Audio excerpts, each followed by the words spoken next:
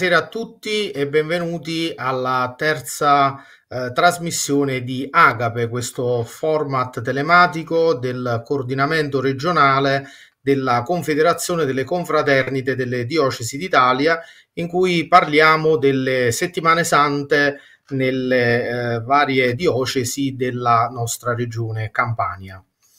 Eh, quella di oggi è una puntata molto ricca di interventi, per cui passo subito alle- alla presentazione dei nostri graditi ospiti. Innanzitutto ci sarà un intervento del dottor Valerio Odoardo, eh, che farà il saluto istituzionale in qualità di vicepresidente per il nord della Confederazione delle Confraternite delle Diocesi d'Italia. Eh, poi eh, ci sarà Sua Eccellenza Monsignor Orazio Francesco Piazza, vescovo della diocesi eh, di Sessaurunca, eh, che è una diocesi dove ci sono antichissime tradizioni legate al periodo appunto della Settimana Santa. Dopodiché inizieremo a parlare delle buone pratiche relative alla Settimana Santa con eh, molti ospiti che vado a presentare.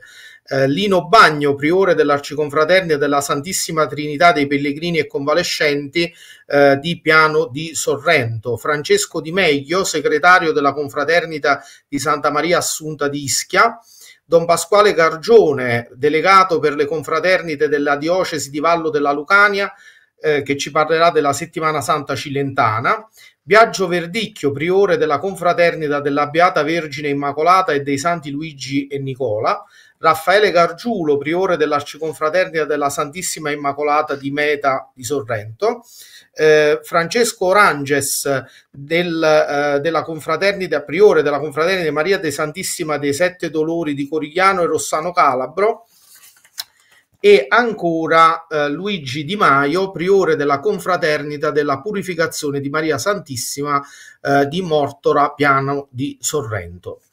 Eh, quindi è come vedete una puntata ricca di interventi, per cui lascio subito la parola per il saluto istituzionale al dottor Valerio Odoardo, ripeto, vicepresidente per il Nord della Confederazione delle Confraternite delle Diocesi d'Italia, che ci farà anche una piccola panoramica sulla settimana santa al Nord Italia.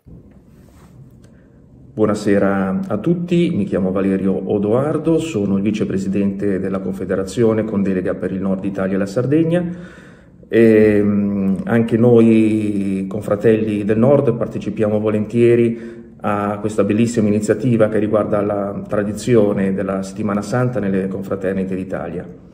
Certamente il Nord ehm, da sempre vive le giornate della Settimana Santa con grande intensità spirituale e di manifestazione di fede. Eh, magari non all'altezza delle consorelle che ancora oggi sono molto vive nel, nel centro e nel sud Italia, ma sicuramente ci sono iniziative di grande, di grande rilievo. Ne voglio ricordare brevemente alcune, a cominciare dalla, dal Piemonte, il, la sera del martedì santo, a Villa Falletto, eh, in provincia di Cuneo, diocesi di Fossano, la, l'Arciconfraternita della Misericordia di San Giovanni Decollato, detta La Nera, ogni quattro anni eh, organizza il mortorio.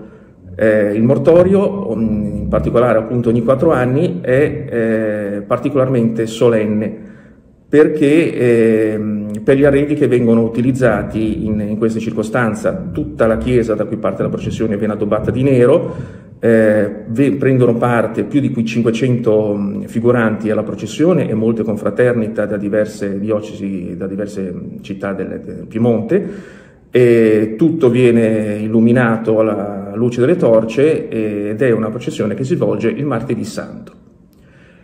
In, spostandoci in Liguria, il giovedì santo, la città di Genova, ehm, ricorda la processione detta delle Casacce, che è la processione più antica di cui si ha notizia nel capoluogo Ligure.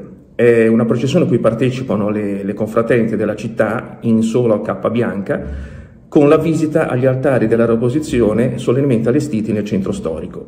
Questo tipo di processione si svolge anche nella diocesi di La Spezia nella città di Levanto. Eh, ancora in Liguria, eh, sicuramente eh, la processione più importante delle, durante la settimana santa è la processione del venerdì santo che si svolge a Savona. È una processione biennale, purtroppo tra mh, pioggia e pandemia è dal 2016 che non, non, si può svolgere e speriamo che si possa svolgere eccezionalmente in anno, in anno dispari l'anno prossimo. È una processione che viene organizzata dalle sei confraternite della città di Savona e vengono portate eh, in processione i, i vari misteri della, della, passione, 15 casse che vengono portate a braccia eh, dai confratelli e accompagnati dai cori delle, delle bande della città. È una processione molto molto bella che richiama veramente anche 20-30 mila persone quando si poteva partecipare.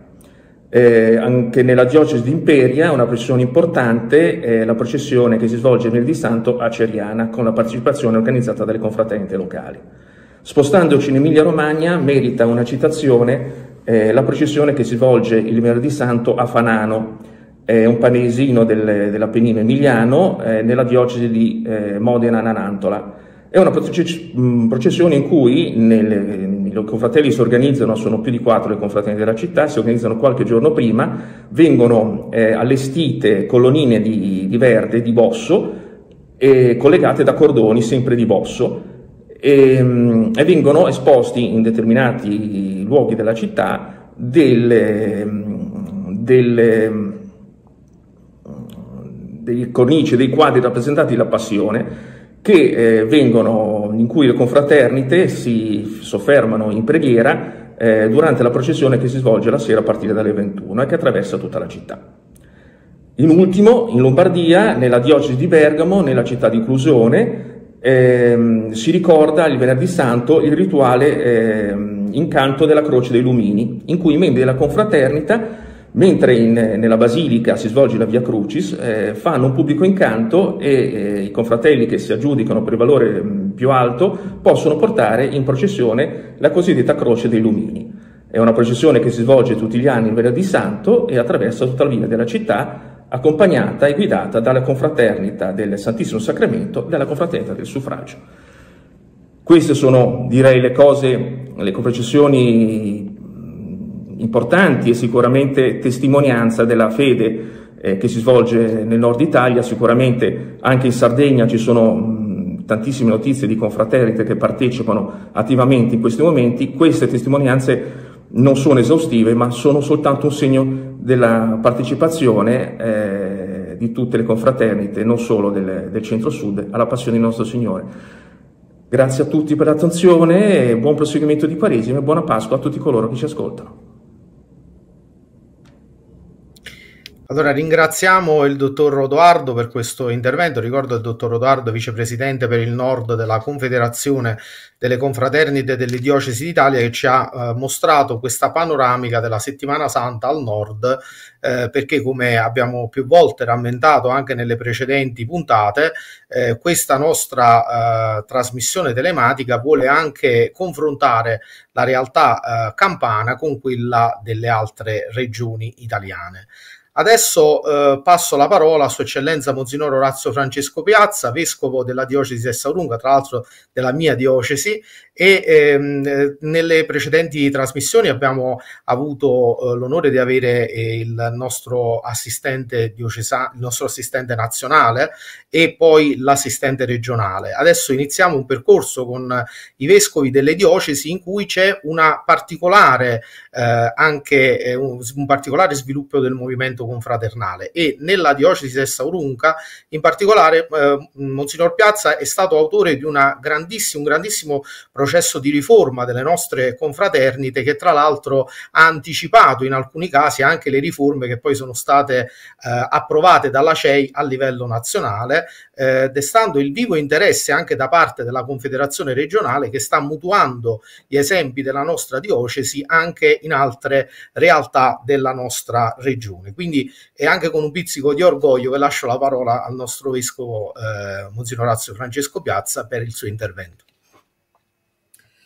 Un saluto a tutti voi con grande affetto, eh, soprattutto eh, sentendomi gratificato di questo incontro perché va a toccare una delle esperienze che mantiene viva la coscienza di fede nelle realtà più dislocate sul territorio, ma anche con un valore intergenerazionale, perché dai più piccoli ai più anziani eh, si mantiene viva la realtà della fede che trova il segno concreto nelle manifestazioni che sono diventate una realtà identitaria di un popolo, di una realtà diocesana, perché in varie forme all'interno della mia realtà nella chiesa locale che eh, veramente sento come eh, impegno eh, non solo a trasformare ma a dare vitalità a questo terreno fecondo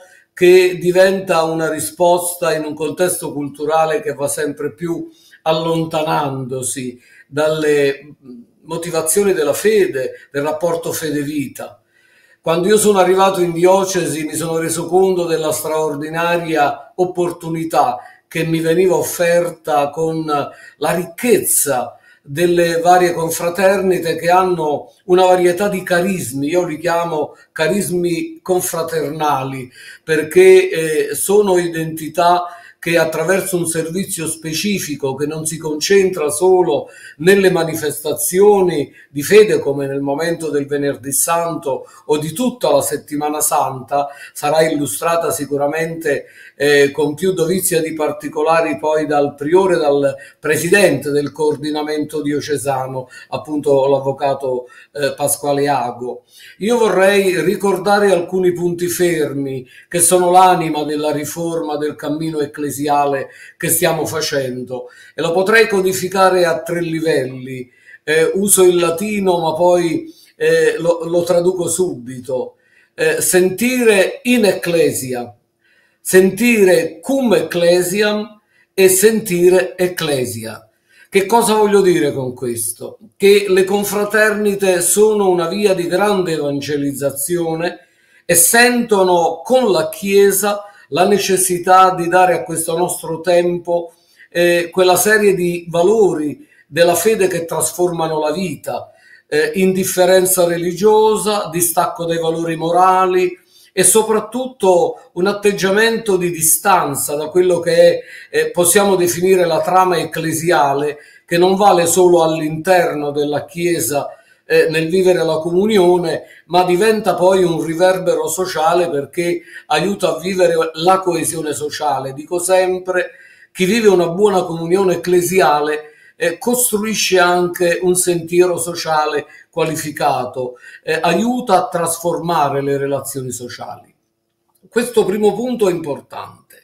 Eh, il sentire in ecclesiam perché eh, le confraternite non devono mai assumere un atteggiamento chiuso e autoreferenziale. Eh, non lo è stato, però è evidente che rendersi partecipi e soprattutto responsabili in quella corresponsabilità ecclesiale, perché ciascuno suo proprio modo deve poi essere testimone della vitalità del Vangelo che è per l'uomo, per la salvezza dell'uomo, perché l'uomo viva la qualità della vita e viva quella pienezza di vita che il Vangelo vuole innervare nella realtà dell'uomo e del mondo, le confraternite, posso chiamarle, sono un po' eh, la frontiera perché eh, vivono quel tessuto popolare più immediatamente radicato al punto che la stessa identità, io sono rimasto sorpreso nel vedere la coincidenza tra identità popolare, soprattutto nella città centrale di Sessa, ma anche in tutte le altre realtà confraternali, nei luoghi in cui esse vivono, una vera azione identitaria di un popolo, l'ho chiamata identità di un popolo. È ovvio che questa identità non solo mantiene viva la tradizione che sappiamo non è una realtà cristallizzata, ma è un dinamismo che eh, tende a contestualizzare, a ricontestualizzare i valori di appartenenza e poi anche la ministerialità del servizio, della confraternita per il carisma che la contraddistingue, per me è un elemento decisivo e importante.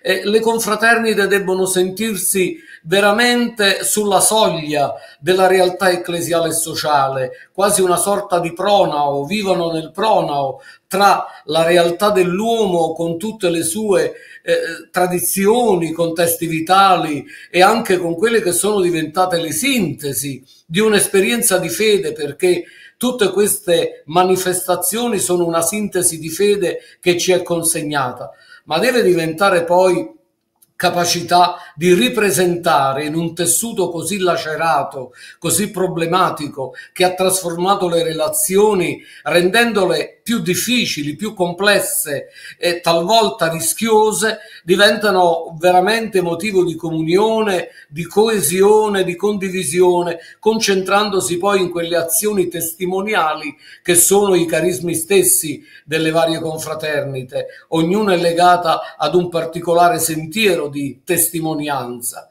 E il sentire come ecclesia poi diventa eh, la capacità di partecipare in questa realtà sinodale che stiamo vivendo, eh, interpellando veramente la realtà attraverso una chiave di lettura che diventa immediata, un centro di ascolto sinodale fatto dalle confraternite. Io l'ho chiesto, mi attendo la loro risposta perché è evidente che l'interfaccia con la complessità di soggetti che vivono questa esperienza così bella e significativa può diventare e deve diventare linfa vitale per tutto il tessuto ecclesiale. Ovviamente sentire la Chiesa, chi vive la confraternita mette in campo il principio fondamentale dell'essere stesso della Chiesa, è un principio di comunione, è il sentirsi in una fraternità che esprime quel tipo di relazione che è maturato all'interno di un rapporto vivo, co- costante, continuo con il Vangelo. Per cui i valori di Cristo Signore che ci chiama a vivere l'unità feconda della fraternità diventa poi per le confraternite quasi un bisogno fisico che poi viene espresso in tante forme, ma che comunque è una testimonianza dell'essere stesso della Chiesa.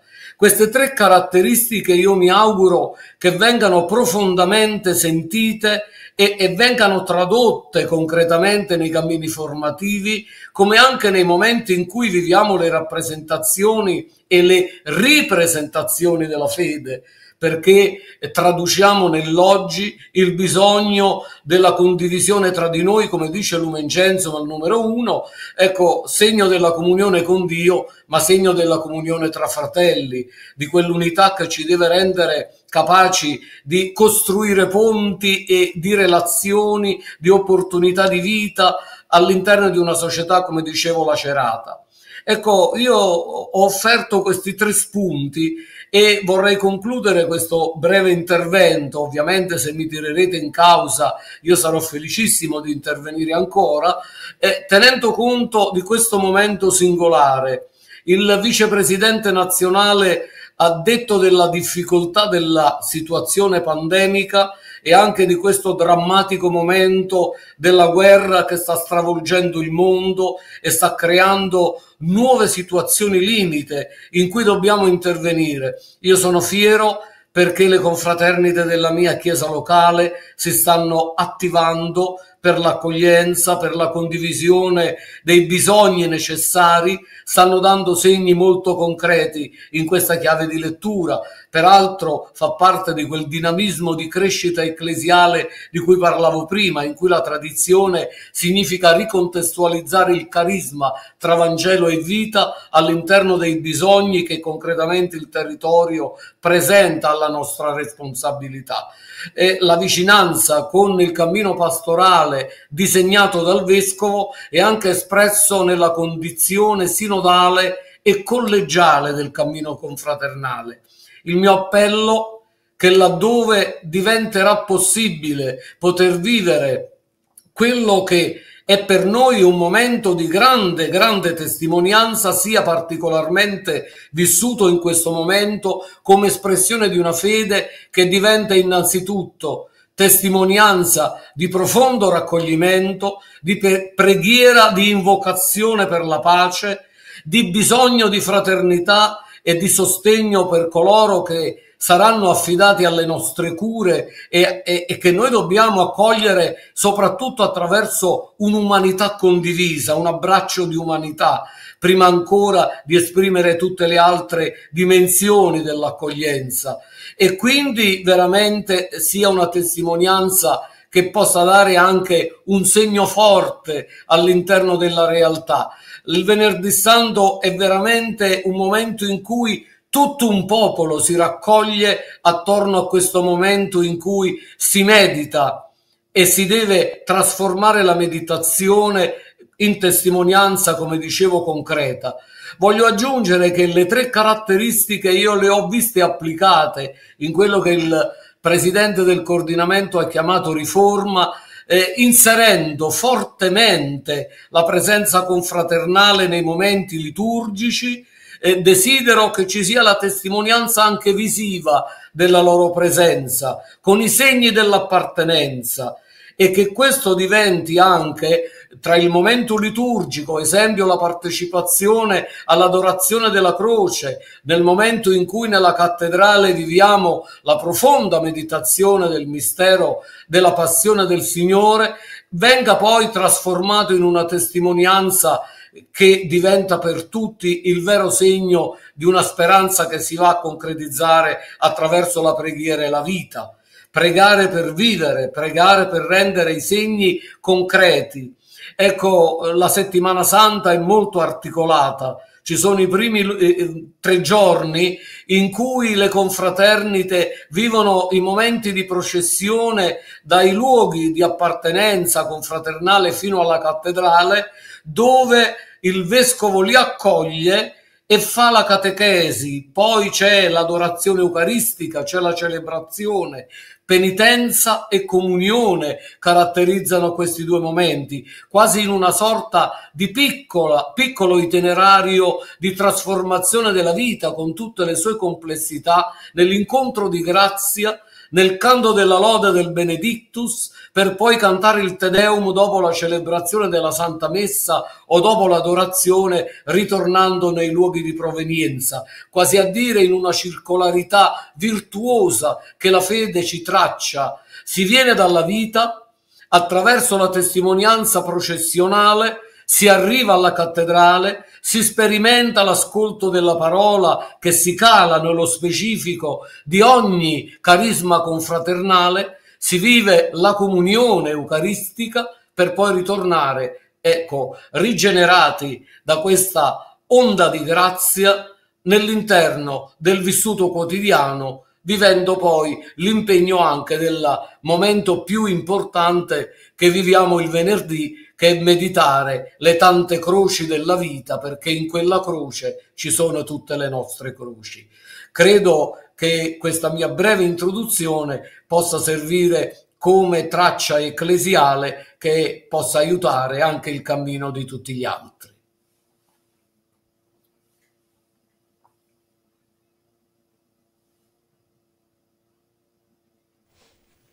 Pasquale microfono. Allora, ringraziamo eh, Sua Eccellenza Monsignor Orazio Francesco Piazza, Vescovo di Sessa Urunga, per queste bellissime parole, per questi spunti di riflessione importanti e tengo a sottolineare che questo nostro format eh, non è soltanto un modo per parlare della settimana santa, delle varie realtà, delle varie tradizioni, ma è anche e soprattutto un'occasione di formazione, un'occasione di confronto, è un'occasione di riflessione. E quindi le parole di Monsignor Piazza eh, siano davvero lo spunto di riflessione per tutti i priori che ci stanno sentendo, che ci stanno ascoltando in questo momento di prova, perché eh, quello che stiamo vivendo è un momento difficile, un momento di, che mette alla prova anche le nostre eh, realtà confraternali e, e, proprio per questo noi che abbiamo la responsabilità di dover gestire queste, le nostre confraterne in questo momento così difficile, possiamo e dobbiamo cercare in questi spunti di riflessione che ci sono stati offerti questa sera e anche nelle precedenti eh, puntate dagli altri vescovi che si sono eh, collegati con noi, dobbiamo cercare di eh, individuare una strada da seguire, anche perché i momenti che stiamo vivendo sono momenti davvero straordinari, purtroppo abbiamo anche pochi precedenti a cui appellarci quindi è davvero difficile eh, a volte prendere decisioni eh, in una situazione come questa. Grazie, quindi ringrazio di cuore il, il mio vescovo, il vescovo della mia diocesi eh, per questo bellissimo intervento e eh, passo quindi ai primi interventi sulla settimana santa partendo dal eh, priore Lino Bagno eh, dell'Arciconfraternita della Santissima Trinità dei Pellegrini e Convalescenti eh, di Piano di Sorrento. Spero di aver detto tutto correttamente, quindi lascio la parola a, a, eh, al priore Lino Bagno.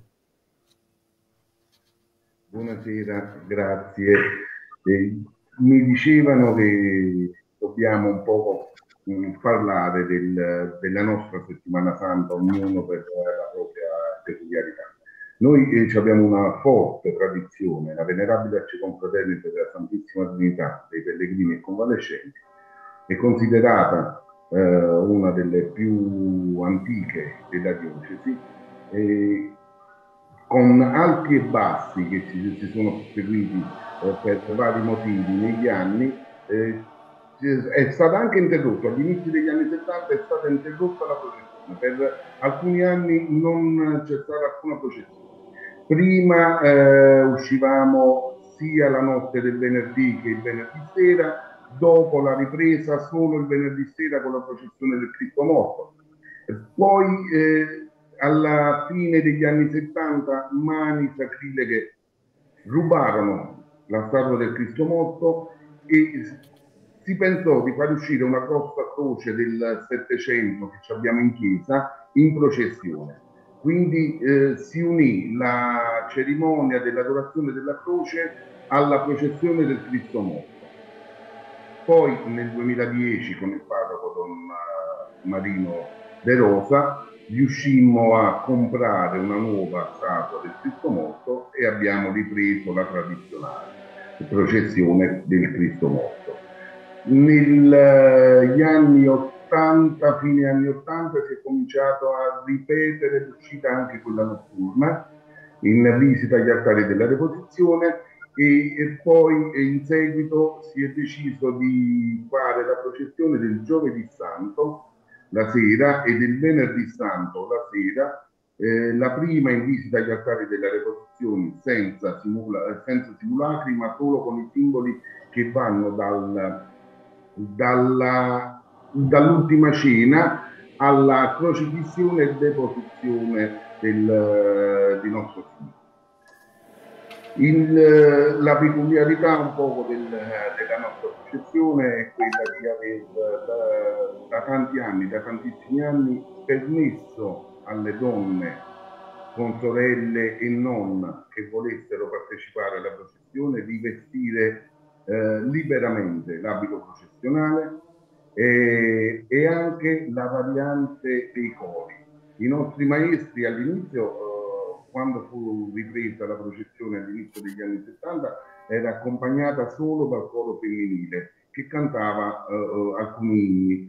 Poi dopo con il priore, l'allora priore Poggio Gaetano, fu ripristinato il canto del miserere, il Salmo 50, e, e negli anni i nostri maestri hanno voluto eh, sempre cambiare.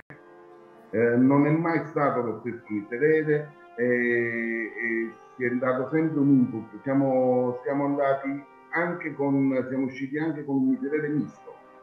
Eh, qualcuno ha, pensato che fosse una blasfemia, ma il miserere misto è, una, è toccante. È, è veramente una cosa che, che vi inviterei ad ascoltare, lo trovate su, sui social. Noi vestiamo l'abito, come potete vedere dalle immagini, l'abito rosso, storicamente i trinitari eh, vestono l'abito rosso, e il cappuccio che portano tutte le confraternite, che ci fa sembrare una festa a chi non conosce le nostre realtà, eh, serviva per appianare, per appiattire le, le diversità sociali, adesso invece è solo un segno di penitenza che noi riusciamo a mantenere eh, vivo. Eh, fortunatamente eh, ci sono molti giovani che ci seguono, spero che eh, questa pandemia non abbia eh, staccato la passione da parte dei giovani.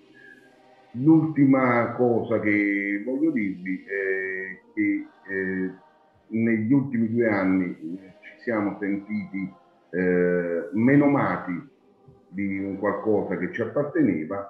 Speriamo e auguro a tutti di riuscire a riprendere. Noi nel nostro piccolo faremo un piccolo cammino penitenziale, come facevano i nostri avi. Grazie, buonasera a tutti.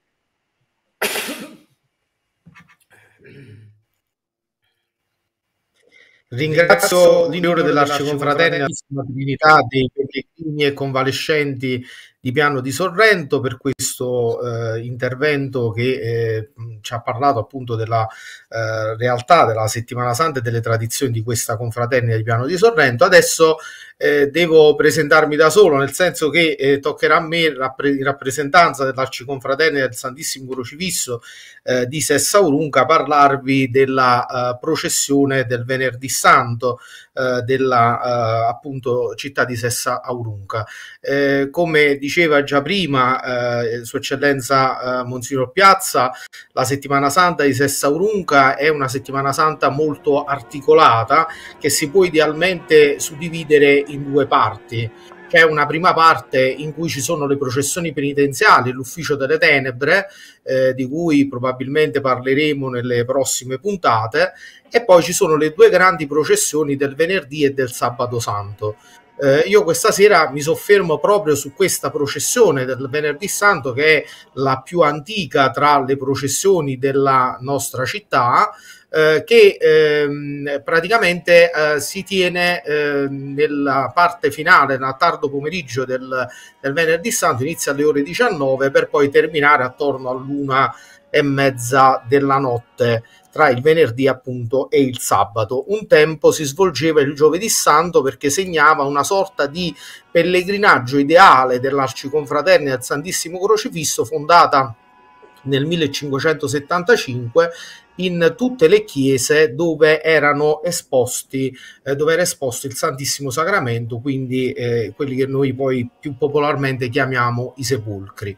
Eh, questa processione eh, ha delle particolarità eh, che la rendono probabilmente unica nel panorama eh, campano e molto più simile per certi versi invece alle processioni che si svolgono soprattutto nella regione Puglia e in alcune zone anche della Sicilia.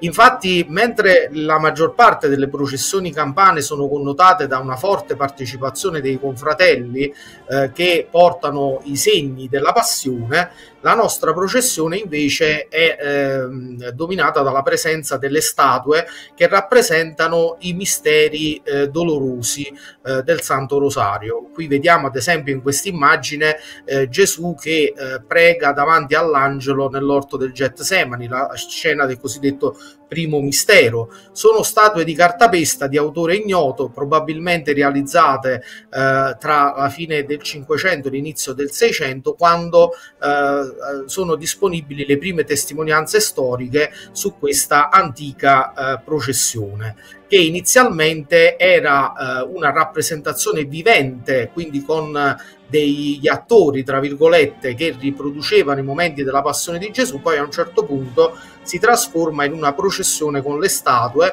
che come vedete vengono portate a spalla dai nostri confratelli che indossano un abito, un saio completamente nero con il cappuccio rigorosamente abbassato in segno di penitenza. Qui vediamo un'altra statua, Gesù eh, legato alla colonna, quindi la scena della flagellazione, il secondo mistero doloroso. Come vedete le statue non camminano con un'andatura normale, regolare, ma sono praticamente eh, cullate con quella che noi in gergo dialettale chiamiamo cunnulella, eh, che ricorda un po' il gesto della mamma che culla il bimbo quando piange per lenire le, i, sue, i suoi patemi.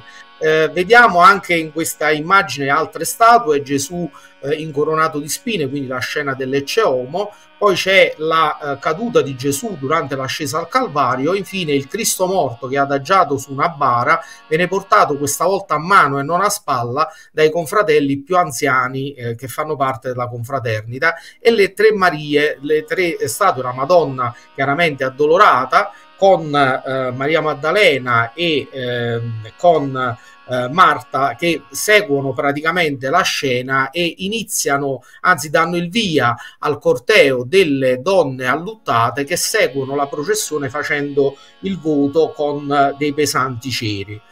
Una delle caratteristiche però sicuramente più peculiare di questa processione è il canto del miserere che probabilmente riuscite ad ascoltare in sottofondo. Il Salmo 50 di Davide è certamente un salmo penitenziale diffusissimo nelle processioni, ma il modus con cui viene eseguito nella nostra diciamo, rappresentazione è sicuramente unico nel suo genere, tanto da averci indotto a presentare la candidatura di questo canto quale patrimonio immateriale della nazione italiana e dell'UNESCO. I cantori sono tre, eh, cantano con tre voci diverse, una voce alta, una voce media e una voce bassa, cantano tutte le strofe dispari del miserere rigorosamente in latino, ogni strofa viene divisa in cinque parti. I cantori si avvicinano quasi a formare un'ideale cappella e le voci si mescolano al punto tale da sembrare una sola voce con una particolare modulazione che alla fine mastica in qualche modo anche il testo in latino che a stento si riesce a riconoscere. Un canto struggente, un canto particolare che si può ascoltare solo il venerdì santo e nei venerdì di Quaresima, allorquando durante eh, i venerdì di marzo le statue che comporranno il corteo processionale vengono una dopo l'altra esposte nella nostra chiesa di San Giovanni a Villa e eh, segue poi una funzione religiosa con un'omelia sul simbolismo del mistero esposto e poi c'è il canto del miserere. Poi durante le notti dei venerdì di Quaresima, tutte le notti dei venerdì di Quaresima, il canto del miserere risuona nei vicoli del centro storico di Sessaurunca quasi a risvegliare le eh, coscienze dei nostri concittadini circa l'imminente arrivo della Santa Pasqua. È una processione, come dicevo, antica e particolare che si svolge in un contesto anche scenografico di grande suggestione perché la città di Sessaurunca ha un eh, centro storico praticamente quasi eh, diciamo eh, proprio originale nelle sue fattezze architettoniche e strutturali eh, e quindi immaginate questa città quasi completamente eh, diciamo al buio con le luci particolarmente basse con queste statue che passano eh, e al loro passaggio nei punti più belli più particolari del percorso eh, si eh, possono eh, diciamo notare dei grandi falò. Qui si vede in questa immagine proprio dietro le statue uno di questi eh, grandi falò di questi che noi chiamiamo in dialetto carraciuni che sono praticamente eh, accesi per rischiarare il passaggio delle statue perché come ripeto l'illuminazione viene abbassata e quindi eh, è un modo per fare anche luce per riscaldare nelle notti diciamo primaverili che non sempre sono tiepide eh, i partecipanti. Eh, poi c'è questa tromba che come vedete eh, il, eh, segna il passo del corteo processionale, è la stessa tromba che veniva eh, suonata davanti ai cortei dei condannati a morte durante il periodo appunto della dominazione romana E poi ci sono le marce funebri che adesso sentite in sottofondo, ehm, opera sia di autori internazionali come ad esempio Chopin, ma anche di autori locali che vengono eseguite dalle bande della città di Sessaurunca.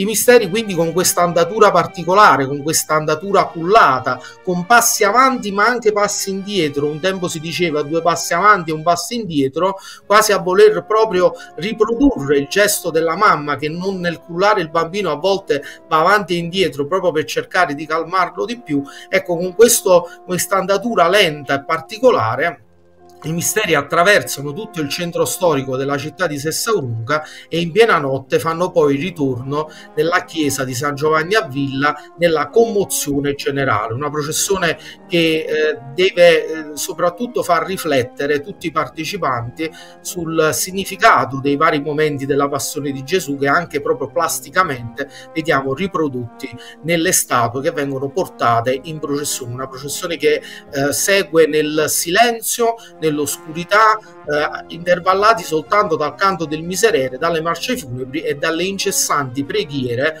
delle donne che fanno il voto e che seguono eh, la processione. Ecco, adesso ne vedete degli esempi proprio nel video che eh, sta scorrendo alla mia sinistra. Quindi dicevo una processione antichissima e poche ore dopo la conclusione di questa processione ne inizia un'altra altrettanto bella e particolare, quella del Sabato Santo, organizzata da due confraternite, la confraternita di San Carlo Borromeo e l'arciconfraternita del Santissimo Rifugio, ma di questa eh, altrettanto bella e particolare processione parleremo in un successivo intervento nelle prossime puntate. A questo punto eh, voglio eh, passare invece la parola a Francesco Di Meglio. Passiamo sull'isola di Ischia. Eh, Francesco Di Meglio è segretario della confraternita di Santa Maria Assunta e ci parlerà appunto della settimana santa anche sull'isola di Ischia. Prego.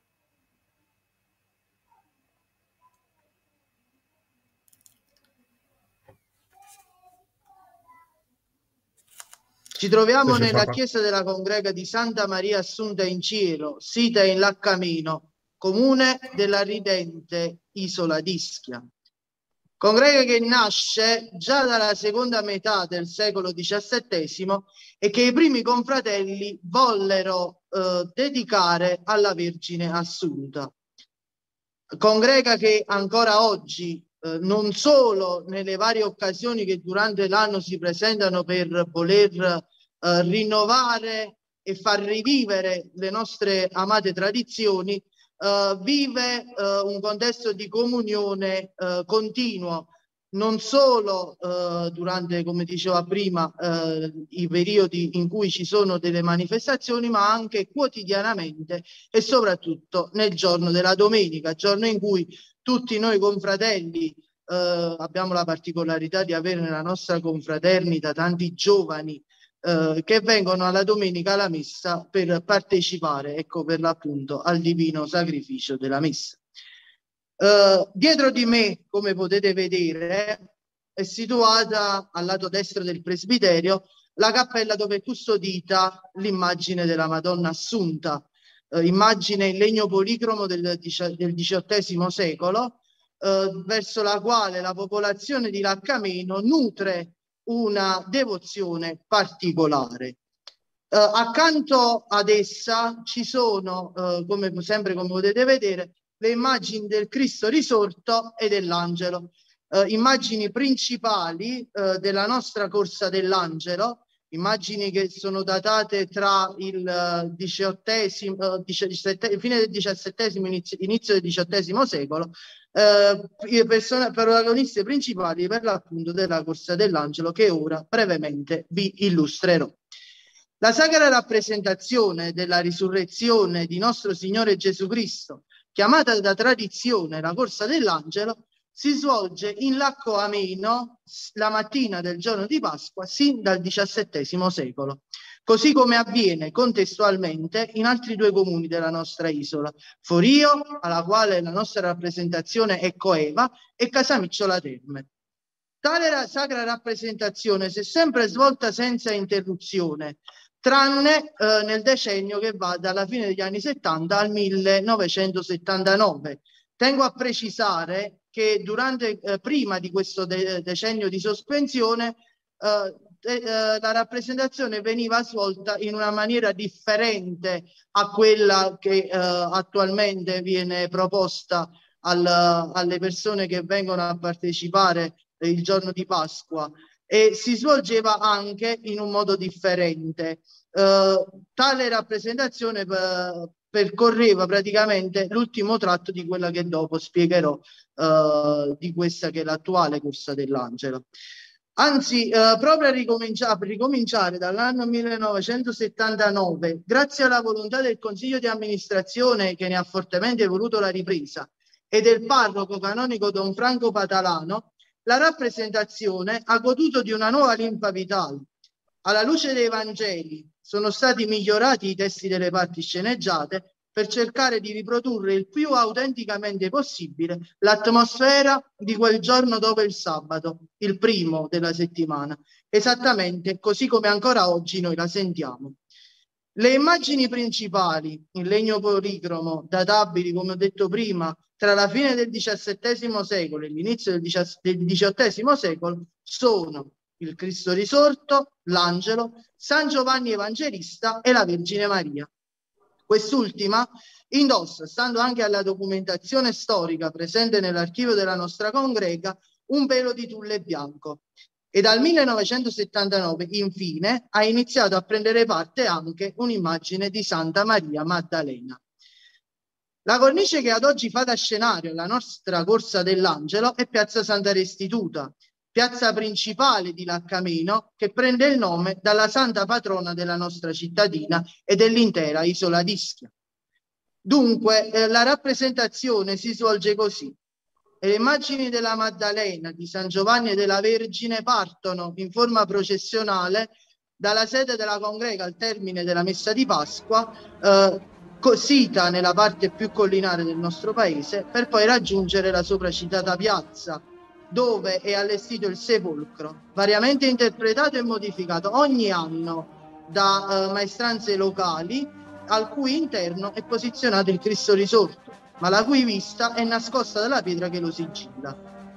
La rappresentazione ha inizio con la narrazione evangelica che narra di quanto accaduto il giorno dopo il sabato, quando Maria di Magdala, recandosi di buon mattino al sepolcro, lo trova avuto con le bende che avvolgevano il corpo del Signore ben piegate e messe da parte. E seduto proprio accanto a queste ultime, incontra un angelo, il quale le annunzia che il Signore non è lì, ma è risorto e li precede in Galilea. A queste parole Maria Maddalena, piena di timore e gioia grande, corre a dare notizia ai discepoli che la vicenda del suo Signore non era conclusa, ma che egli è risorto dai morti. In seguito la narrazione prosegue con la scena del discepolo amato che corre verso il sepolcro, si china a guardare le bende e vedendo crede subito alla risurrezione del suo maestro. Dopodiché non può fare altro che correre a dare notizie agli altri discepoli di ciò che aveva visto. L'ultima parte della rappresentazione, come dicevo prima, è sicuramente la più emozionante e quella più tradizionale trae ispirazione dai testi apocrifi e dal buon senso della fede cristiana, il quale ha sempre immaginato che il nostro Signore non poteva non svelare il grande mistero della sua risurrezione innanzitutto a sua madre, la Vergine Santissima, la cui incrollabile fede e la cui indefettibile aderenza alla volontà di Dio hanno fatto di lei la creatura in cui il Signore si è maggiormente compiaciuto. Tale annunzio a Maria è preceduto da tre corse e tre inchini che l'angelo rivolge dapprima verso la Madonna e poi verso il sepolcro. Ella, al termine di ciascuna corsa dell'angelo, avanza gradualmente verso il sepolcro. Terminate le corse dell'angelo, la pietra che chiude il sepolcro si apre e in quel momento anche la Madonna corre verso il Cristo risorto. Nel momento della corsa ella perde il velo che la ricopre e simbolicamente può ricongiungersi con il figlio risorto. Tale velo, eh, da tradizione, è tirato via dal cappellano della congrega all'atto della partenza della corsa della Madonna. La sacra rappresentazione si conclude con il compimento di altri due gesti. Il primo ripreso da circa un decennio, dopo essere caduto in disuso per oltre un cinquantennio, che consiste nel chinare a terra per tre volte, a mo' di inchino, il vessillo della congrega, quasi a simboleggiare la venerazione del popolo per tale gaudio, prima innanzi alle immagini del Cristo della Madonna ed in seguito ed innanzi alle chiese dove transita la processione di rientro. Tale gesto ha la peculiarità e la regola che le piume che sovrastano il detto vessillo non devono toccare il suolo, ma solo sfiorarlo. In origine, stando a quanto riportato sempre nella documentazione storica presente qui in congrega, dove sono riportati minuziosamente i vari compiti e i ruoli svolti dai confratelli partecipanti, in sostituzione alle attuali piume vi erano dei fiori realizzati in paglia locale, finemente lavorati a mano da antiche maestranze e che purtroppo oggi non esistono più. Il secondo gesto, invece, l'ultimo compiuto, consiste nell'ultima corsa e gli ultimi inchini da parte dell'angelo che compie il suo omaggio alle immagini del Cristo e della Vergine. Quindi il corteo processionale con tutte le immagini non può far ritorno, può far ritorno presso l'oratorio confraternale. Questa manifestazione, che all'Accameno è certamente la più antica insieme con la festa patronale, di cui si abbia memoria e che, come dicevo all'inizio, ancora si svolge, coinvolge moltissimi giovani confratelli e non, così come molte persone più anziane e in età avanzata che con la loro preziosa memoria storica tramandano a noi questa meravigliosa testimonianza di tradizione e di fede. Il nostro impegno è quello di viverla anno dopo anno con spirito sempre rinnovato e far sì che questo prezioso tesoro possa ancora per molto arricchire lo spirito delle nuove generazioni e rafforzare l'identità cristiana del popolo di Lacco Amino. Grazie per avermi concesso di eh, esporre brevemente quella che è la nostra tradizionale corsa dell'angelo, con l'augurio di una buona e santa Pasqua a tutti coloro che ci seguono. Allora, ringrazio Francesco Di Meglio, segretario della confraternita di Santa Maria Assunta di Ischia, che ci ha parlato eh, delle tradizioni di, dell'isola di Ischia. Dopo la settimana scorsa abbiamo parlato di Procida, ora abbiamo parlato anche di Ischia, quindi anche nelle isole della nostra regione le tradizioni legate alla settimana santa e alla Pasqua sono particolarmente importanti e sentite. Adesso continuiamo il nostro viaggio nell'ambito della costiera sorrentina a Piano di Sorrento con Biagio Verdicchio che è il priore della confraternita della Beata Vergine Immacolata e dei Santi Luigi e Nicola. Prego. Buonasera a tutti, un grazie per l'invito e un buon cammino lo faccio fin da ora a tutti i colleghi priori e amministratori presenti. È una grande opportunità questa perché dopo due anni di tempo sospeso che abbiamo insomma vissuto, l'opportunità di raccontare quelle che sono tradizioni secolari diventa importante e le modalità moderne ci permettono soprattutto di avvicinarci a quei giovani che sono stati quelli, tra virgolette, anche più colpiti dall'assenza di queste tradizioni. Parlare della mia confraternita che insomma eh, reggo oramai da un quinquennio e anche questo prossimo eh, da, da, qualche mese, significa parlare della confraternita più giovane della parrocchia di San Michele Arcangelo a Piano di Sorrento, la più giovane della città di Piano di Sorrento e tra le più giovani della diocesi di Sorrento Castellammare. Eh, giovane eh, perché eh, un gruppo di giovani il 31 ottobre del 1875 decisero di fondare ispirandosi al, eh, a San Luigi Gonzaga, il termine, il, termine lungo con cui hai ben citato il titolo della confraternita, viene eh, affettuosamente chiamato a Piano di Sorrento con eh, il nomignolo eh, di Luigini appunto. Um, protagonista è da un paio di anni, dal 2018 esattamente, la processione del Martedì Santo, uh, che è insomma il vanto, ma anche il momento di grazia più importante per il nostro sodalizio, tornare a vivere eh, i riti della settimana santa dopo che la tradizione e la storia avevano raccontato che eh, nei primi anni di fondazione fino a inizio del Novecento, eh, specialmente il venerdì santo pomeriggio, i confratelli eh, indossando una corona di spine su questa bellissima veste bianca eh, scorrono le immagini, che non è mai cambiata nei suoi colori, ehm, vivevano i riti all'interno della Basilica di San Michele Arcangelo. Dal 2018 quindi giovane anche il cammino processionale, ehm, un cammino che mi piace eh, insomma identificare con queste parole. Negli occhi la croce, una grande croce nera che eh, è al centro del cammino dei processionanti e nel cuore il Vangelo di Giovanni, perché il martedì santo è il giorno in cui si legge un passo bellissimo che è quello di Giovanni, il capitolo 13, dove c'è l'annuncio del tradimento di Giuda e del rinnegamento di Pietro.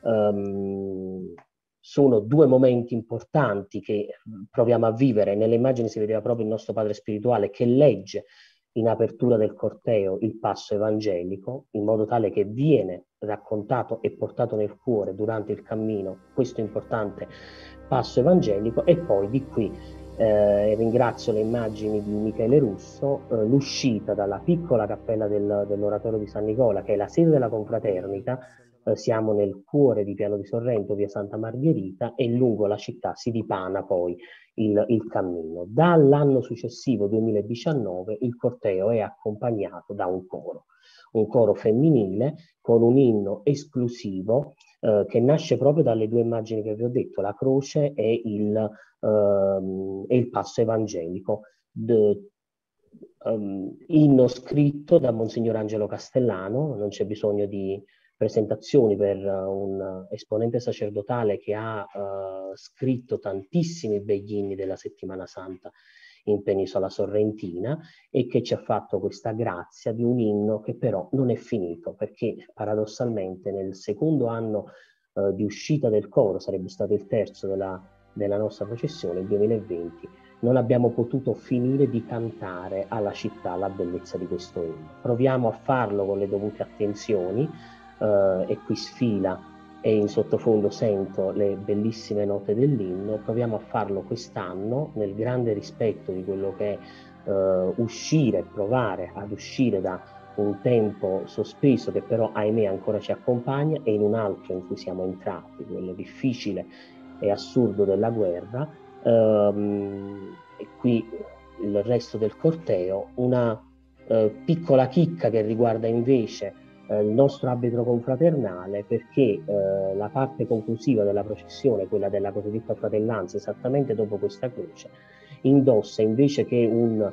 eh, cordone blu, che per i processionanti indossa una fascia ed è una caratteristica unica in Penisola Sorrentina, unica eh, in, uh, nella nostra regione, che si trova similare soltanto in qualche confraternita di Enna e della Sicilia. È la fascia mariana, perché appunto eh, dopo i santi Nicola e Luigi è ben rappresentata ed è importantissima, anche perché la, la ricordiamo eh, tra le tante attività anche durante il mese di maggio, l'immagine della Vergine Immacolata. Quindi quella fascia di stoffa in vita con una, un pendente di stoffa con sopra cucito un giglio, il giglio appunto di San Luigi, è un eh, richiamo fortissimo alla Vergine Immacolata. Questo è il cammino del martedì santo, il cammino della croce, ma è anche il cammino di, di un tradimento e di un rinnegamento che eh, portiamo e facciamo conoscere alla città di Piano di Sorrento. Ringrazio tutti quanti voi e um, un buon cammino, come ho detto all'inizio, a tutti i nostri sodalizi. Ringrazio Biagio Verdicchio, priore della confraternita della Beata Vergine Immacolata e dei Santi Luigi e Nicola, come ci ha detto dei Luigini per eh, il popolo di Piano di Sorrento, eh, per questa eh, interessante descrizione dei riti della sua confraternita.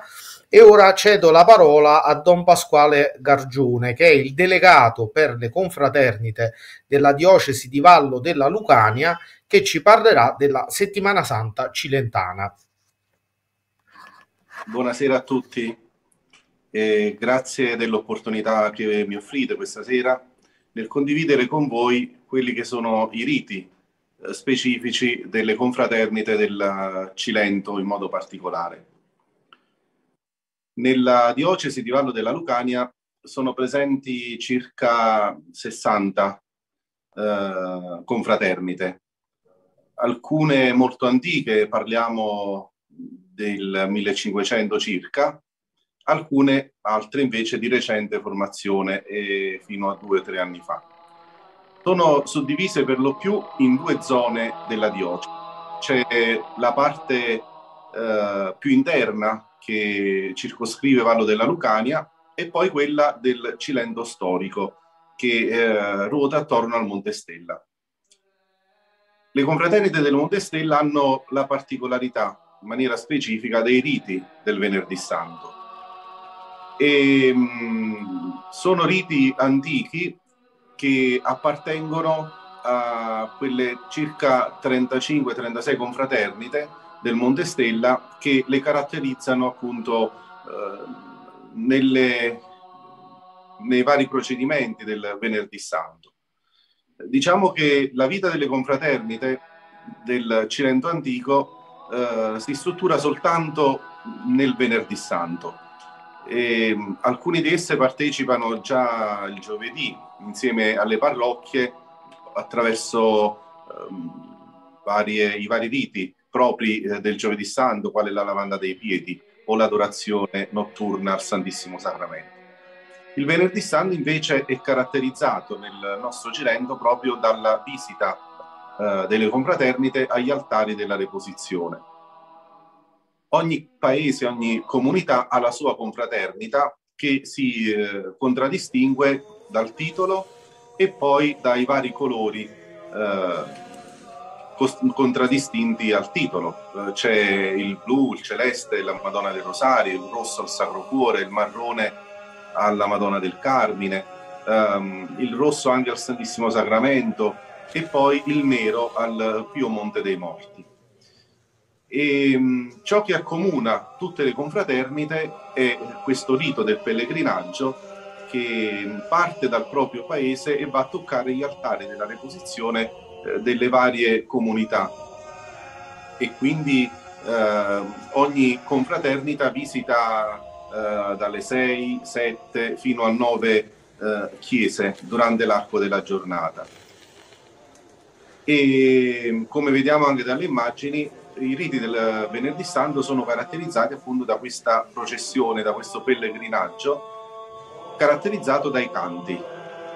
Canti che eh, sono propri mh, mm, in alcune particolarità di ogni confraternita.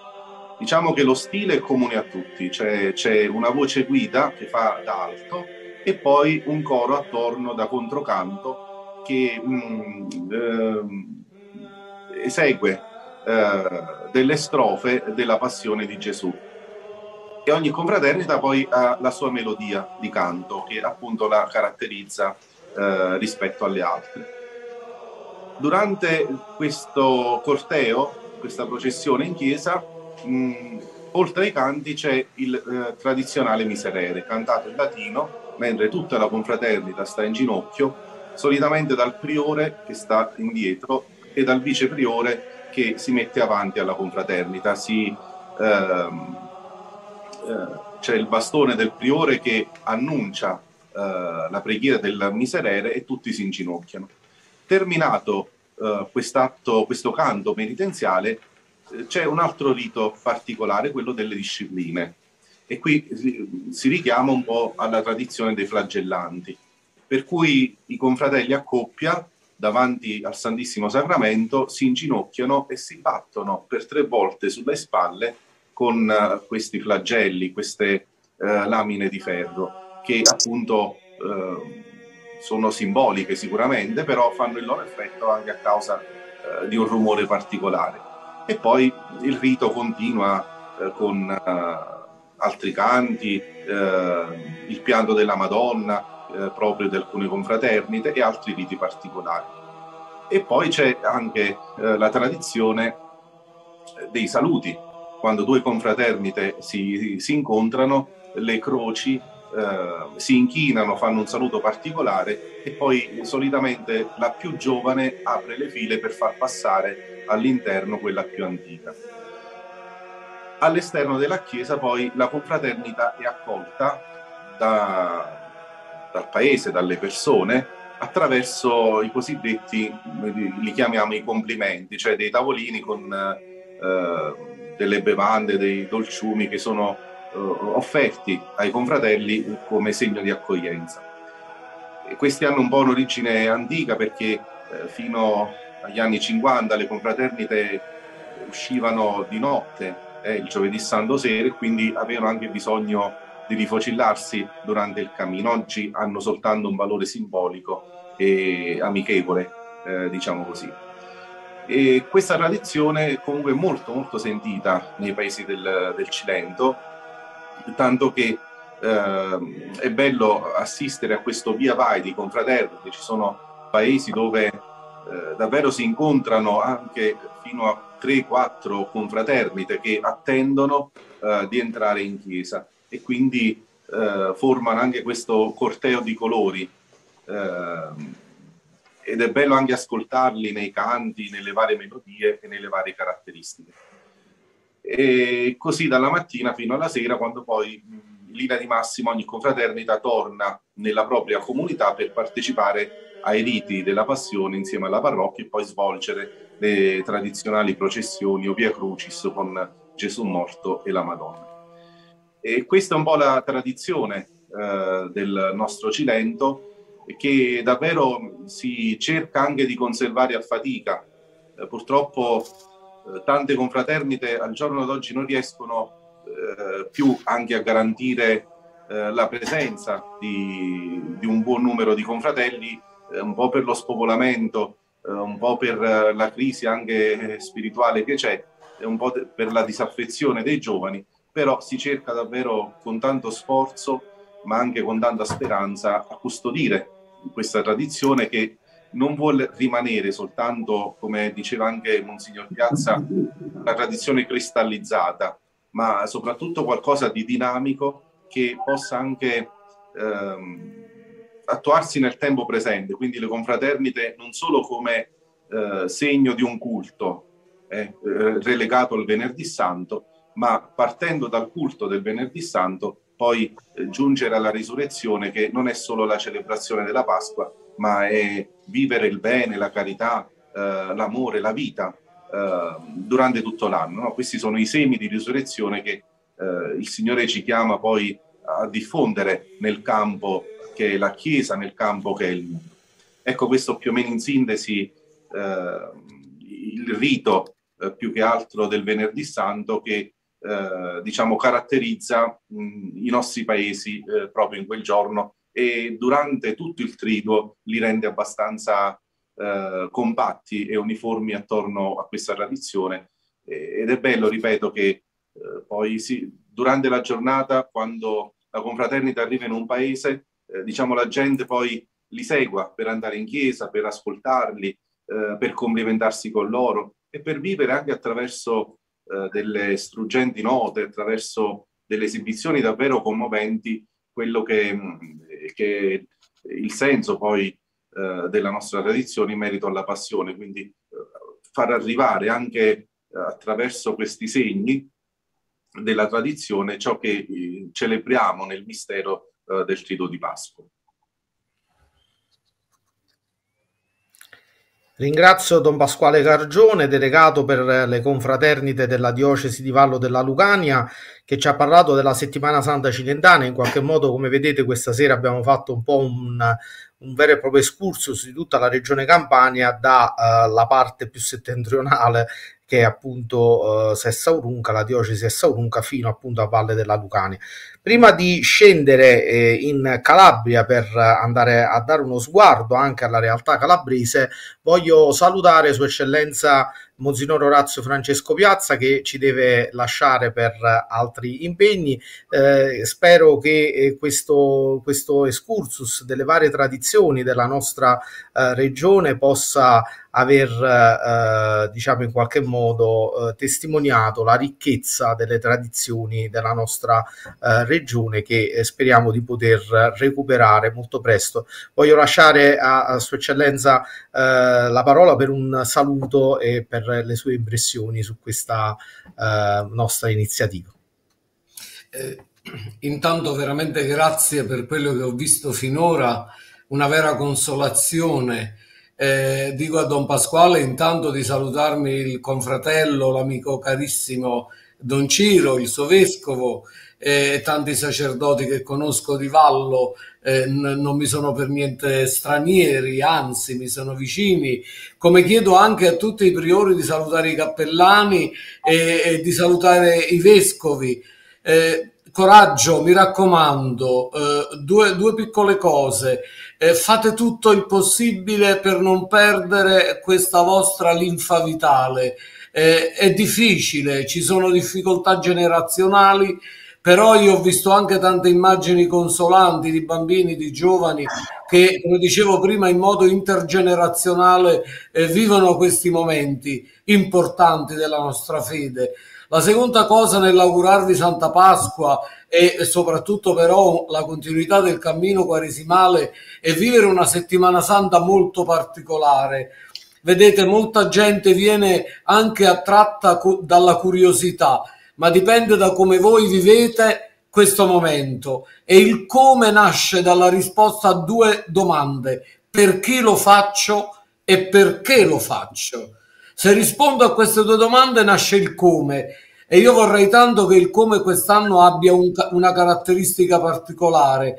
Eh, eh, viviamo tutti la sofferenza, il dolore, la prova, ci sono tanti malati, il Covid che ha decimato diverse comunità, eh, non ci sono famiglie che non hanno dovuto vivere lutti, amarezze e, e grandi sofferenze. Non dimentichiamo che l'amore trasforma il dolore. Quando viviamo il venerdì santo non dimentichiamo che quell'amore ha trasformato il dolore e quindi anche attraverso la nostra concentrazione nella preghiera, nella testimonianza, potremo far riflettere tante persone che troveranno l'occasione per rientrare nel loro cuore. Le incombenze di un vescovo sono anche quelle della preghiera eh, e poi anche un po' di studio perché a quest'ora si comincia a studiare un po' perché nella giornata non è possibile e quindi eh, io ho bisogno di lasciarvi pregherò con voi e per voi. Grazie per questo momento che è stato veramente un momento bello. Ho visto quello che mi aspettavo. Coraggio, state tranquilli che la vostra fedeltà avrà il suo premio. Santa Pasqua a tutti, eh? Grazie eccellenza, grazie di cuore per queste belle parole, per questo incoraggiamento che è davvero molto importante. Grazie, grazie per la presenza e per la testimonianza. Grazie di cuore ed auguri anche da parte nostra, a nome di tutti quanti i priori eh, presenti per una Santa Pasqua. Grazie, grazie di cuore. Adesso continuiamo il nostro viaggio eh, con uno sguardo al di fuori dei confini della nostra regione. Andiamo in Calabria eh, a parlare con Franco Oranges, priore della confraternita di Maria Santissima dei Sette Dolori di Corigliano e Rossano Calabro eh, che eh, praticamente ci darà un, eh, un, un, es- farà un excursus dei riti e delle tradizioni che sono presenti anche nella regione Calabria che a noi è vicina anche geograficamente. Quindi sicuramente ci saranno molte assonanze. Prego. Buonasera a tutti. Intanto intervengo come priore della Congrega Maria Santissima dei Sette Dolori nell'area urbana di Corigliano e quale vice coordinatore regionale per la Calabria e per la diocesi di Rossano, anche a nome dei confratelli di Rossano. È una tradizione molto antica che accomuna le due aree urbane e che li contraddistingue anche per i, per i gesti e per i simboli omogenei. Eh, la nostra confraternita in realtà non nasce come promotrice dei riti della settimana santa. Nasce dedicata alla Madonna Addolorata, infatti viene rifondata il primo settembre 1727 con un atto pubblico da 12 eh, cittadini coriglianesi e poi solo in seguito diviene propagatrice dei riti della settimana santa proprio perché è la Vergine Addolorata e quindi eh, diviene eh, protagonista di questo scenario indescrivibile ed emozionante che è la processione solenne del venerdì santo, detta anche processione dei misteri. A Corigliano la settimana santa è un periodo veramente forte. Eh, si inizia con la Domenica delle Palme, poi con allestire gli altari della reposizione con eh, piantine nate dai chicchi di grano, dai ceci, dai fagioli e da altri, da altri legumi. E poi c'era una volta anche, c'erano ancora, anche una volta le processioni dei flagellanti che uscivano da numerose chiese. E poi la veglia ai piedi della Dolorata la notte del giovedì santo che si protrae per tutta la notte e che viene caratterizzata da canti in vernacolo coriglianese, il lamento della Madonna, le tre ore di passione di, di Gesù ehm, e poi si va eh, verso la chiesa di Santa Maria Maggiore, l'arciprefettura matrice di Santa Maria Maggiore, da dove prende il via la processione retta dei flagellanti che è partecipata da tutte le congreghe della città. Eh, sono le immagini che state vedendo, questa ecco è la processione dei flagellanti che eh, era eh, organizzata una volta dalla Arciconfraternita del Santissimo Sacramento, che una, è, è, stata una delle più antiche confraternite di Corigliano perché eh, fu, uh, c'è una pergamena miniata che ne attesta la, il gemellaggio con quella di Santa Maria sopra Minerva a Roma, che porta la data del 1550. Alla sera poi, ecco, eh, dalla chiesa, dalla più piccola chiesa di Corigliano, prende il via la processione dei misteri. Inizia lo stendardo, poi i vari misteri della passione, sia i misteri della passione che i misteri dolorosi, quindi Gesù all'orto e così via. La bara, la lettiga del Cristo, del Cristo morto e poi, ecco, l'elemento centrale, il fulcro centrale di questa processione che è lei, eh, la Vergine addolorata, eh, con le spade conficcate nel cuore, che con lo sguardo rivolto al cielo, una statua settecentesca di scuola spagnola, una Madonna seduta eh, che attrae, attira, ecco, eh, la partecipazione di numeroso popolo che proviene anche dai paesi vicini e, e, e che è partecipata a questa processione accompagnata da interminabili file di confratelli e di consorelle che vestono l'abito distintivo per i maschi, c'è il camice bianco, la rocchetta nera, il cappuccio bianco, è una fascia trasversale, mentre per le donne un abito di panno nero con, attraverso la fascia che è simile a quella dei, dei maschi.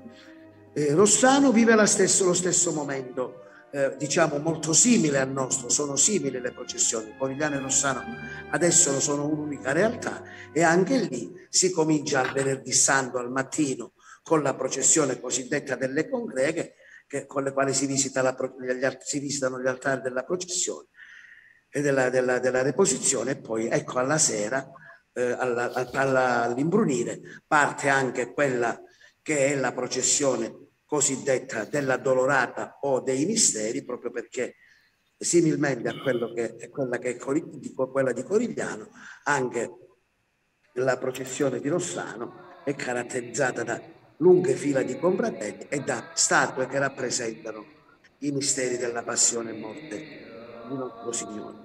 Sono rappresentazioni che non possono finire, che ci auguriamo che non, non debbano finire e noi ci sforziamo di, di, portarle avanti, anche se per quanto ci riguarda abbiamo un, un, un elevato numero di, di sodali, perché siamo all'incirca 600 tra confratelli e tra consorelle, eh, perché ecco anche a testimonianza che della forte devozione e della forte pietà popolare che incute eh, la Madonna addolorata e il Cristo morto. E noi eh, alloga questa confraternita, come dicevo prima, nella più piccola chiesa di Corigliano, tant'è che viene definita Agliesiella, cioè la chiesa più piccola di, di tutte le chiese eh, coriglianesi. Corigliano e Rossano ormai sono insieme e tra tanti sforzi, tra tanti innumerevoli sacrifici, però oh, portano avanti, portano avanti queste tradizioni perché sono le tradizioni di un popolo. I protagonisti non sono né i confratelli né le consorelle, ma protagonisti sono è il popolo di Corigliano e il popolo di Rossano che eh, senza saper leggere, senza saper scrivere, ha scritto con il cuore delle nenie che dal solo sentirle la commozione prende il sopravvento. Io vi ringrazio per avermi ospitato, ma devo anche io lasciarvi perché alle 11 mi parte il treno per Roma, laddove dovrò essere domani mattina per motivi professionali. Buona Pasqua a tutti, buona, buona e santa settimana santa e auguri a tutti e in bocca al lupo a tutti. Ringrazio Franco Oranges, priore della confraternita di Maria Santissima dei Sette Dolori di Corigliano e Rossano Calabro, per averci dato quindi eh, un eh, chiaro eh, esempio delle bellissime tradizioni eh, che anche nella regione Calabria eh, rendono particolarmente bello il periodo della settimana santa e per il messaggio anche eh, che ha lanciato alla fine l'importanza di preservare le nostre tradizioni e, e di trasmetterle alle future generazioni. Chiudiamo il nostro viaggio tra le realtà della, della città di Piano di Sorrento eh, con Luigi Di Maio, priore della confraternita della purificazione di Maria Santissima di Mortora. Eh, lascio la parola a Luigi Di Maio che ci chiude così la parentesi eh, su eh, Piano di Sorrento, cui abbiamo dedicato eh, questa puntata nel nostro viaggio nella complessa realtà della, ehm, del Sorrentino che è certamente culla di tantissime tradizioni durante la settimana santa. Prego. Buonasera, bentrovati. Eh, grazie per l'invito che ho colto, ho colto, con piacere per testimoniare le tradizioni della mia confraternita. Lode a Dio per questa bella iniziativa, un applauso a coloro che l'hanno sognata e che l'hanno concretizzata, specie in questo tempo di digiuno della, dalle nostre ritualità, in particolare dalla ritualità della settimana santa. Io rappresento la confraternita della purificazione di Maria Santissima, siamo nella città di Piano di Sorrento, parrocchia di Santa Maria di Galatea, nell'ambito del territorio della diocesi di Sorrento-Castellamare di Stabia. Brevemente faccio un, un cenno della nostra storia. Noi nasciamo all'indomani del Concilio di Trento, quindi nel pieno, un tempo in cui era necessaria una nuova cristianizzazione un documento a firma del mm, Monsignor Giulio Pavesi, datato 10 dicembre 1566, è l'atto di nascita della, della no, del nostro sodalizio, allora sotto il nome del Santissimo Sacramento. In quel tempo i, i confratelli erano soliti portare in processione il Santissimo Sacramento, ciò avveniva la mattina di ogni prima domenica del mese e al pomeriggio portavano la Vergine Maria in processione. Quindi capite che era già ben radicata la vocazione processionale del nostro sodalizio. Nel XVII secolo poi cambia l'intitolazione in purificazione di Maria Santissima. Da qui il quadro che vedete alle mie spalle che rappresenta appunto la presentazione di Gesù al Tempio e la purificazione di Maria Santissima. Il nostro segno distintivo è, il, è l'abito completamente bianco. In tanti infatti ci identificano qui in zona per la bianca di Mortora. Noi non abbiamo nessun patrimonio materiale, oltre ai pochi suppellettili e ai tipici oggetti del culto, ma abbiamo però un grosso patrimonio immateriale di storia, di tradizioni, di pietà popolare, che affondano le radici nella secolarità del nostro sodalizio e identificano proprio la nostra umanità di camminatori. Mi riferisco in questo caso in particolare alle processioni, ma in particolare ancora di più alle processioni del Venerdì Santo, che rappresentano sicuramente un momento di esaltazione della pietà e rispondono al bisogno di ognuno di esternare quel sentimento di tristezza, di preoccupazione e di fede che contraddistingue sicuramente il nostro credo. Sono uno strumento importante di aggregazione che racchiudono, si racchiudono in gesti antichi che, che ripetiamo da secoli e che questi suoni rituali sembrano che quasi esistano dalla notte dei tempi. Noi in particolare come confraternita organizziamo due processioni. Una prima nella notte tra il giovedì e il venerdì santo, una seconda il venerdì santo sera. Per la prima processione ci mettiamo in cammino nel cuore della notte del, del giovedì, al suono dei tamburi e accompagnati dal commovente canto del miserere e dallo struggente canto femminile del figlio mio. Ci incamminiamo lungo le stadine della nostra parrocchia e portiamo in pellegrinaggio la statua della Madonna Dolorata. Il eh, coro del Miserere è il coro maschile, i componenti sono circa 100 di ogni età, seguono una tradizione paterna e cantano il Salmo 50. Negli anni si sono succeduti vari modelli di, di canto di Miserere, siamo passati dal gregoriano al verdiano, ma negli ultimi anni ci è particolarmente piaciuta la tradizione spagnola del miserere di Zamora. Questo è un, è un modello che piace molto ai giovani cantori. La processione all'alba del venerdì santo rappresenta, secondo una tradizione paesana, il vagare della Madonna Dolorata in cerca del figlio che è caduto nelle mani dei nemici. Questo, questa convinzione è particolarmente rafforzata anche dal silenzioso incedere lungo le vie del paese. Lungo l'itinerario ci fermiamo il corteo processionale si ferma nelle, agli altari delle reposizioni, i cosiddetti sepolcri, come li chiamano qui in zona, allestiti nelle chiese locali. A cospetto dell'Eucaristia recitiamo preghiere e si canta il miserere. Il tutto è inebriato dal profumo dell'incendio. Alle prime luci dell'alba facciamo rientro nella nostra chiesa parrocchiale, terminiamo l'itinerario con l'adorazione al nostro altare della reposizione. A sera c'è la processione del Cristo morto che parte all'imbrunire, percorre le stradine della parrocchia, gli antichi borghi, i vicoli stretti, ma anche le più ampie strade, in segno di unione di un popolo che vive una fede e una trepidazione. Mm, gli incappucciati, anche nella processione del venerdì sera, portano i, martiri, i simboli del martirio di Cristo sia uomini che donne. Questa è una particolarità, credo che abbiamo da tantissimi anni, incappucciamo ambo i sessi, non siamo maschilisti. Il cammino è illuminato dalle fiaccole che palpitano al vento, che è un'atmosfera sentita ed emozionante. Oltre alla statua della Colorata, protagonista della processione del venerdì sera, è la statua lignea del Cristo morto. Essa è portata in spalla da uomini vestiti dal nostro saio bianco della confraternita.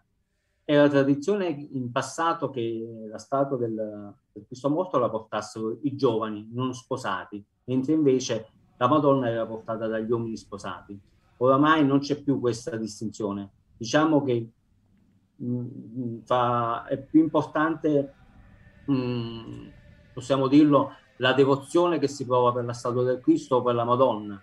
Quindi indistintamente ognuno sceglie cosa portare, ma credo che si basi anche sulle proprie forze, sulle forze di ognuno. Il Cristo è molto pesante e quindi ha bisogno di spalla abbastanza solide, abbastanza forti.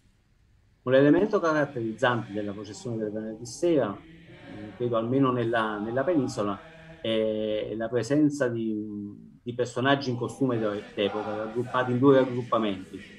Uno in particolare è una decuria di, di soldati romani vestiti di preziose armature che scortano il Cristo morto al, al sepolcro. Seconda, un secondo raggruppamento invece è rappresentato dalle pie donne, sono Maddalena, Maria di Cleofa, Salome e Maria di Giacomo. Nella processione del venerdì sera ci sono tre cori, c'è il Miserere, che abbiamo già detto, no, partecipa anche alla processione della, della notte, il coro del figlio mio, sono circa 150 donne, e un coro di, di bambini, il Fra Immensi, circa un'ottantina fra bambini e bambine. Mm, la processione, eh, percorriamo le strade di tutta la parrocchia, ci scendiamo anche sul Posto Italia, dove lì tante volte ci interseghiamo, ci incontriamo con le altre processioni del, eh, dell'unità pastorale. Terminiamo il nostro percorso sul sagrato della chiesa parrocchiale, dove è tradizione da un po' di anni di recitare di ascoltare il testo della quattordicesima stazione della Via Crucis che in quelle ore il Papa sta, sta recitando. Terminiamo con i saluti e l'invito a partecipare alla Veglia di Pasqua. Il tempo è tiranno, ci sarebbero tantissime cose da dire. Eh, mi fermo qui, ringrazio Monsignor Piazza, Don Pasquale e tutti i priori che sono intervenuti, ad ognuno auguro una buona Pasqua, quest'anno sia effettivamente una buona Pasqua per tutti, vinca il bene e vinca la vita. Grazie a tutti. Ringrazio Luigi Di Maio, priore della confraternita della purificazione di Maria Santissima di Morto, la Piana di Sorrento, per il suo intervento e per gli auguri che ricambio. Allora, siamo giunti alla conclusione di questa terza puntata di Testimoni della Tradizione. Eh, molti gli spunti interessanti su cui potremo eh, andare a eh, diciamo a concentrarci per le, le prossime due puntate eh, ed in particolare eh, il, diciamo, la, il, vero, il, vero, e proprio secondo me elemento centrale di questa puntata è senza dubbio eh, la, l'auspicio di tutti noi priori a poter vivere serenamente la prossima settimana santa a poter così riprendere il cammino eh, che per troppo tempo è stato interrotto e tramandare quindi di nuovo le tradizioni di cui eh, siamo custodi eh, alle future generazioni. Quindi nelle prossime puntate sicuramente affronteremo anche questo argomento. Vorrei a questo punto passare ai saluti e ai ringraziamenti, prima però permettetemi sempre di ringraziare eh, Michele Russo dalla regia, eh, per tutta l'assistenza tecnica e la redazione composta dal nostro coordinatore regionale eh, Felice Grilletto e dal vice coordinatore Gerardo Russo.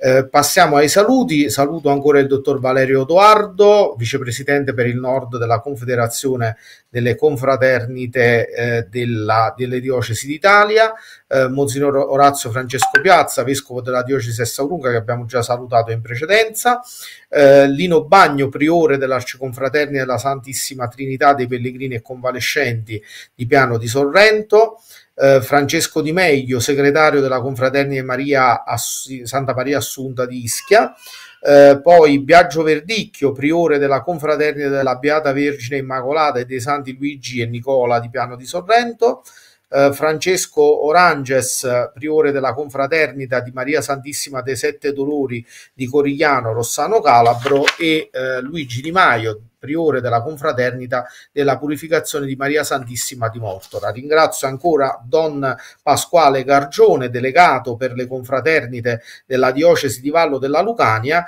che adesso ci eh, condurrà nella recita della compieta che come già nelle due precedenti eh, trasmissioni eh, conclude questo nostro incontro e ci proietta quindi ad un sereno riposo.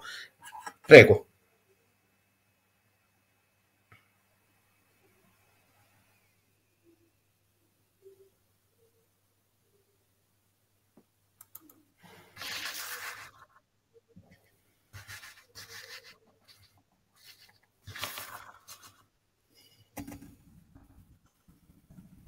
Don Pasquale, chiedo scusa, dovrebbe attivare il microfono. Sì, scusate. Eh, dicevo, mi unisco anch'io ai ringraziamenti per questa bellissima iniziativa e tutto ciò che ci siamo detti, eh, parole, impressioni, emozioni, ehm, le mettiamo adesso, le trasformiamo in preghiera eh, perché diventino semi e segni di speranza, soprattutto nella ripresa eh, delle attività confraternali ehm, dopo appunto questi due anni di pausa forzata. E allora la preghiera che adesso ci apprestiamo a fare e che conclude eh, una giornata che è appunto la preghiera della compieta sia però anche eh, segno di incoraggiamento a continuare eh, la nostra preghiera costante anche attraverso i riti eh, propri di ogni confraternita. O Dio, vieni a salvarmi. Signore, vieni presto. Signore, vieni presto in mio aiuto. Gloria al Padre e al Figlio e allo Spirito Santo. Come al principio, sempre, nei secoli dei secoli. secoli. Amen. Ci fermiamo un attimo in silenzio per fare memoria della giornata trascorsa, per rendere grazie al Signore delle persone incontrate, di tutte le esperienze vissute, del bene, del bene fatto eh, delle occasioni di speranza, eh, di pace, di misericordia che abbiamo dato. E nello stesso tempo chiediamo perdono invece per i peccati commessi, per il male compiuto, per le omissioni, per le mancanze di carità, eh, per tutto ciò che ha caratterizzato negativamente questa giornata.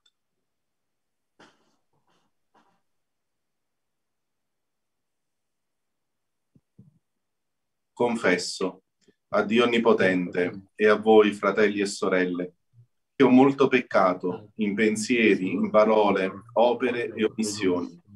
Per mia colpa, mia colpa, mia grandissima colpa. E supplico la beata sempre Vergine Maria, gli angeli, i santi e voi, fratelli e sorelle, di pregare per me, Signore Dio nostro. Dio Onnipotente abbia misericordia di noi perdoni i nostri peccati e ci conduca alla vita eterna. Amen. Preghiamo l'inno. Gesù, luce da luce, sole senza tramonto, tu rischiari le tenebre nella notte del mondo. In te, Santo Signore, noi cerchiamo il riposo dall'umana fatica al termine del giorno. Se i nostri occhi si chiudono, veglia in te il nostro cuore, la tua mano protegga coloro che in te sperano. Difendi il consumatore dalle insidie del male, i figli che col tuo sangue prezioso.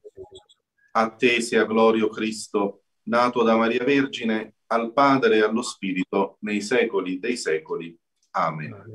Amen. Non nascondermi il tuo volto perché in te confido, o oh Signore. Signore, Signore, ascolta la mia preghiera, porgi l'orecchio alla mia supplica, tu che sei fedele e per la tua giustizia rispondimi. Non chiamare, non chiamare in giudizio il, il tuo servo, nessun vivente, nessun vivente davanti a te. Il nemico mi perseguita, calpesta a terra la mia vita, mi ha relegato nelle tenebre come i morti da gran tempo. In me languisce, languisce il mio spirito, si agghiaccia, il, mio cuore. il mio cuore. Ricordo i giorni antichi, ripenso a tutte le tue opere, medito sui tuoi prodigi. A te, a te potendo le mie mani, sono davanti, sono davanti a te come terra riarsa. Rispondimi, Rispondimi presto, Signore il mio spirito. Non nascondermi il tuo volto, perché non sia come chi scende nella fossa. Al mattino fammi sentire la tua grazia, perché in te confido. Fammi conoscere la strada da percorrere, perché a te, perché te si innalza l'anima mia. Salvami da miei nemici. Signore, a te mi affido insegnami a compiere il tuo volere, perché sei tu il mio Dio, il tuo spirito buono mi guidi in terra piana. Per il tuo, tuo nome, Signore, fammi vivere, fammi vivere liberami dall'angoscia per la, per la tua giustizia. Gloria al Padre e al Figlio e allo Spirito Santo. Come era nel principio, ora e sempre, nei secoli dei secoli. Amen. Insieme non nascondermi il tuo volto, perché in te confido, Signore. Siate temperanti, vigilante.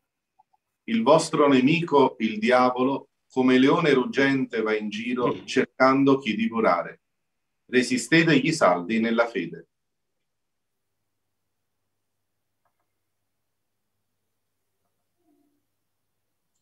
Signore, nelle tue mani affido il mio spirito. Signore, Signore nelle tue mani affido il mio spirito. Dio di verità, tu mi hai redento. Nelle tue mani, mani affido il mio spirito. Gloria al Padre e al Figlio e allo Spirito Santo. Signore, Signore nelle tue mani affido il mio spirito. Nella veglia salvaci, Signore, nel sonno non ci abbandonare, il cuore vegli con Cristo e il corpo riposi nella pace. Ora lascia, oh Signore, che il tuo servo vada in pace secondo la tua parola. Perché i miei occhi hanno visto la tua salvezza, la tua salvezza preparata, preparata da te davanti a tutti, tutti i popoli. Luce per illuminare le genti e gloria del tuo popolo Israele. Israele. Gloria al Padre, Padre e al Figlio, Figlio e allo Spirito, Spirito Santo, come era nel principio, ora e sempre, nei secoli. Amen. Insieme. Nella veglia, salvaci, Signore, nel nel sonno, sonno non ci abbandonare. il cuore Egli con Cristo e il corpo e poi riposi nella pace. Illumina questa notte, o oh Signore, perché dopo un sonno tranquillo ci risvegliamo alla luce del nuovo giorno per camminare lieti nel nome. Per Cristo nostro Signore. Amen. Amen. Signore, ci conceda una notte serena e un riposo tranquillo. Amen. Amen. Ave Maria, piena di Piena di grazia, grazia. il Signore è con te. Tu sei benedetta fra le donne e benedetto è il frutto del tuo seno, Gesù. Gesù. Santa Santa Maria, Maria, Madre di di Dio, prega per prega per noi peccatori, adesso e è nell'ora l'ora della nostra morte. morte. Amen. Santi patroni delle nostre confraternite, pregate per noi. Nunc Spaventi,